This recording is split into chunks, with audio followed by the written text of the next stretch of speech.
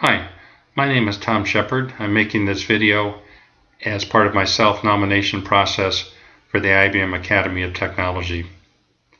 I'm very interested in becoming a member of the Academy. I see it as a forum where we can develop as colleagues the focus and the direction for technology for the future of our company. I would like very much to learn by being a member of the Academy. I'd also like to contribute as a member of the Academy.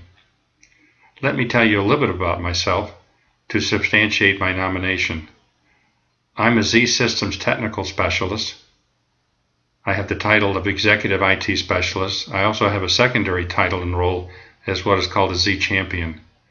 As a Z Champion, I work to promote and evangelize the Z Systems platform throughout the United States focusing in particular on new technology that is being introduced to the infrastructure. Examples of this new technology I focused on in 2016 were blockchain and mobile on Z.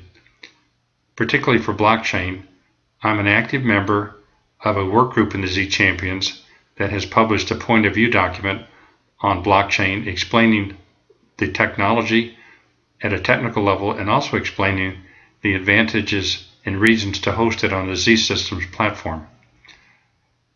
For Mobile on Z, for the last four years, I've served as the North American lead Z champion for Mobile on Z. As such, I have spent a great deal of time educating customers and IBMers about the capabilities of Z systems related to mobile workloads. I would like very much to participate in the in the IBM Academy of Technology.